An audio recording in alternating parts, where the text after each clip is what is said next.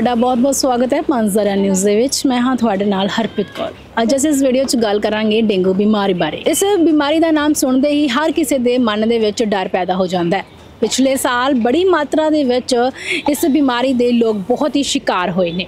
ਤਾਂ ਅੰਦਾਜ਼ ਦਈਏ ਕਿ ਇਨ੍ਹਾਂ ਹੀ ਦਿਨਾਂ ਦੇ ਵਿੱਚ ਇਹ ਬਿਮਾਰੀ ਸਭ ਤੋਂ ਜ਼ਿਆਦਾ ਫੈਲਦੀ ਹੈ। ਇਸ ਬਿਮਾਰੀ ਤੋਂ ਕਿਵੇਂ ਬਚਿਆ ਜਾ ਸਕਦਾ ਹੈ? ਅਸੀਂ ਡਾਕਟਰ ਇਸ਼ਾਨ ਨਾਲ ਗੱਲਬਾਤ ਕਰਦੇ ਹਾਂ। ਉਹਨਾਂ ਤੋਂ ਇਸ ਬਾਰੇ ਸਾਰੀ ਜਾਣਕਾਰੀ ਲੈਂਦੇ ਹਾਂ। ਸਰ ਵੇਖਿਆ ਜਾਵੇ ਤਾਂ ਡੇਂਗੂ ਦਾ ਸੀਜ਼ਨ ਹੁਣ ਸ਼ੁਰੂ ਹੋ ਚੁੱਕਿਆ ਹੈ। ਕੀ ਕਹਿਣਾ ਚਾਹੋਗੇ? ਲੋਕਾਂ ਨੂੰ ਇਸ ਬਾਰੇ ਕੀ ਅਵੇਅਰਨੈਸ ਕਰਨਾ ਚਾਹੋਗੇ? ਜਿਵੇਂ ਕਿ ਆਪਾਂ ਸਭ ਨੂੰ ਪਤਾ ਜੀ, ਬਰਸਾਤਾਂ ਤੋਂ ਬਾਅਦ ਡੇਂਗੂ ਦਾ ਸੀਜ਼ਨ ਸ਼ੁਰੂ ਹੋ ਜਾਂਦਾ ਹੈਗਾ, ਜਿਹੜਾ ਕਿ ਜਨਵਰੀ, ਫਰਵਰੀ ਤੱਕ ਚੱਲਦਾ ਘੱਟੋ ਘੱਟ। ਤੇ ਇਸ ਕਰਕੇ ਆਪਾਂ ਨੂੰ ਪਤਾ ਕਿ ਡੇਂਗੂ ਜਿਹੜਾ ਹੈਗਾ ਉਹ ਮੱਛਰ ਤੋਂ ਫੈਲਦਾ ਹੈਗਾ। ਤਾਂ ਮੱਛਰ ਤੋਂ ਬਚਣ ਵਾਸਤੇ ਆਪਾਂ ਨੂੰ ਇੱਕ ਤਾਂ ਜੀ ਫੁੱਲ ਸਲੀਵਸ ਕੱਪੜੇ ਪਾਣੇ ਚਾਹੀਦੇ ਹੈ ਦੂਸਰਾ ਅੱਜ ਕੱਲ ਕਈ ਤਰ੍ਹਾਂ ਦੇ ਮਾਰਕੀਟ ਡਾਟਸ ਅਵੇਲੇਬਲ ਹੈ ਜਿਹੜੇ ਤਾਂ ਕਿ ਤੁਹਾਨੂੰ ਮੱਛਰ ਕੱਟ ਨਾ ਸਕਣ। ਅੱਗੇ ਜਿਵੇਂ ਓਡੋਮੋਸ ਵੀ ਆਉਂਦੀ ਸੀ। ਇਹਦੇ ਤੋਂ ਇਲਾਵਾ ਜਿਹੜੇ ਲੋਕੀ ਬਾਹਰ ਖੁੱਲੇ ਸੌਂਦੇ ਆ, ਉਹ ਮੱਛਰਦਾਨੀ ਦਾ ਉਪਯੋਗ ਕਰ ਸਕਦੇ ਹੈਗੇ ਆ। ਤੇ ਬਾਕੀ ਇਹਨਾਂ ਸਭ ਤੋਂ ਜ਼ਿਆਦਾ ਜ਼ਰੂਰੀ ਜਿਹੜੀ ਚੀਜ਼ ਹੈਗੀ ਹੈ ਉਹ ਹੈ ਜੀ ਉਹਨਾਂ ਦਾ ਬਰੀਡਿੰਗ ਗਰਾਊਂਡ ਜਿਹਨੂੰ ਆਪਾਂ ਕਹਿੰਦੇ ਜਿਹੜਾ ਖੜਾ ਪਾਣੀ ਹੈ।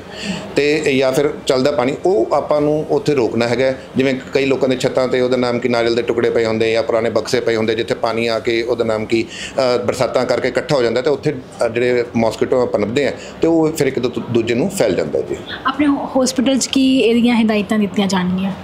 ਹਸਪੀਟਲ ਸਾਡੇ ਕਈ ਤਰ੍ਹਾਂ ਦੀ ਫੈਸਿਲਿਟੀਜ਼ ਅਵੇਲੇਬਲ ਹੈਗੀਆਂ। ਇੱਕ ਤਾਂ ਸਾਡੇ ਕੋਲ ਅਲੱਗ ਤੋਂ ਡੇਂਗੂ ਵਾਰਡ ਹੈ ਬਣਾ ਦਿੱਤਾ ਜਾਂਦਾ ਹੈ ਜਿਹੜਾ ਕਿ ਇਸ ਪਾਰਟਿਕੂਲਰ ਸੀਜ਼ਨ 'ਚ ਹੁੰਦਾ ਹੈ ਤਾਂ ਕਿ ਉਹ ਵਾਲੇ ਮਰੀਜ਼ ਵੱਖਰੇ ਰੱਖੇ ਜਾਣ ਤਾਂ ਤਾਂ ਕਿ ਜਿਹੜੇ ਦੂਜੇ ਮਰੀਜ਼ ਭਰਤੀਆਂ ਉਹ ਵਿਚਾਰੇ ਉਹਨਾਂ ਤੋਂ ਬਿਮਾਰੀ ਨਾ ਲੈ ਸਕਣ।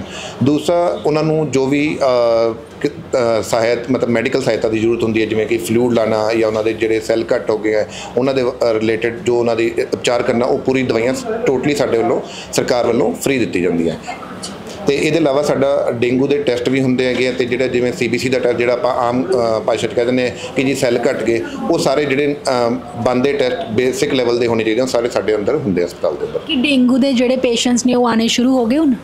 ਹਾਂਜੀ ਸਸਪੈਕਟਡ ਕੇਸਿਸ ਹੈ, ਉਹਨਾਂ ਦੇ ਕੁਝ ਟੈਸਟ ਅਸੀਂ ਕਰਵਾਏ ਹੈ ਤੇ ਸਾਡੇ ਹਸਪਤਾਲ 'ਚ ਹਫ਼ਤੇ 'ਚ ਦੋ ਵਾਰੀ ਜਿਹੜੀ ਰਿਪੋਰਟ ਆਉਂਦੀ ਹੈਗੀ ਹੈ ਟੈਸਟ ਤੁਸੀਂ ਡੇਲੀ ਦੇ ਸਕਦੇ ਹੋ ਤੇ ਉਹਨਾਂ ਦੀ ਰਿਪੋਰਟ ਦੇ ਅਨੁਸਾਰ ਫਿਰ ਉਹਨਾਂ ਦਾ ਇਲਾਜ ਕੀਤਾ ਜਾਂਦਾ ਹੈ ਜੀ। ਸੋ ਇਹ ਸਨ ਸਾਡੇ ਨਾਲ ਡਾਕਟਰ ਇਸ਼ਾਨ, ਜਿਨ੍ਹਾਂ ਨੇ ਡੇਂਗੂ ਤੋਂ ਬਚਣ ਲਈ ਬਹੁਤ ਸਾਰੀਆਂ ਗੱਲਾਂ ਸਮਝਾਈਆਂ ਨੇ। ਤੁਸੀਂ ਵੀ ਇਹਨਾਂ ਗੱਲਾਂ ਤੇ ਅਮਲ ਕਰੋ, ਇਹਨਾਂ ਗੱਲਾਂ ਨੂੰ ਧਿਆਨ ਨਾਲ ਤੁਸੀਂ ਸੁਣਿਆ ਹੀ ਹੋਣਾ। ਜਿਵੇਂ ਡਾਕਟਰ ਨੇ ਕਿਹਾ, ਉਸ ਤਰ੍ਹਾਂ ਅਮਲ ਕਰੋਗੇ ਤਾਂ ਤੁਸੀਂ ਵੀ ਡੇਂਗੂ ਤੋਂ ਬਚ ਸਕਦੇ ਹੋ। ਇਸ ਤੋਂ ਇਲਾਵਾ ਤੁਹਾਨੂੰ ਅਸੀਂ ਇਹ ਵੀ ਅਪੀਲ ਕਰਦੇ ਹਾਂ ਕਿ ਆਪਣੇ ਘਰਾਂ ਨੂੰ ਸਾਫ਼ ਸੁਥਰਾ ਰੱਖੋ, ਆਪਣੇ ਆਲੇ ਦੁਆਲੇ ਪਾਣੀ ਨੂੰ ਇਕੱਠਾ ਨਾ ਕਰੋ। ਨਹੀਂ ਤਾਂ ਉਸ ਦੇ ਨਾਲ ਹੀ ਜ਼ਿਆਦਾਤਰ ਡੇਂਗੂ ਫੈਲਦਾ ਹੈ, ਮੱਛਰ ਫੈਲਦਾ ਜਿਸ ਨਾਲ ਸਾਨੂੰ ਬਿਮਾਰੀ ਹੁੰਦੀ ਹੈ।